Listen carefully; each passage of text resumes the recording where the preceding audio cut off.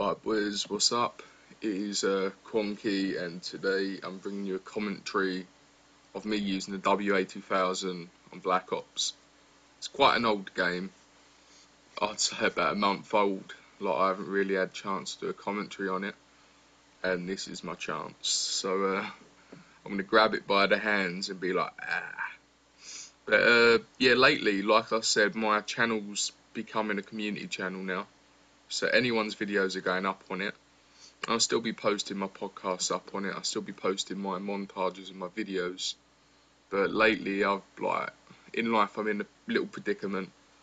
Uh, I've got a lot of things going at the moment, like uh, just courses, random stuff in life. It's quite like quite hectic.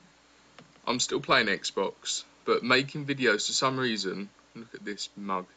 I run around and get me and I just knife him.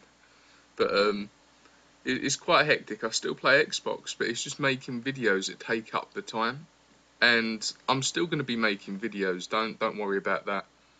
I'm going to have a montage coming out. And lately I've been playing COD 4.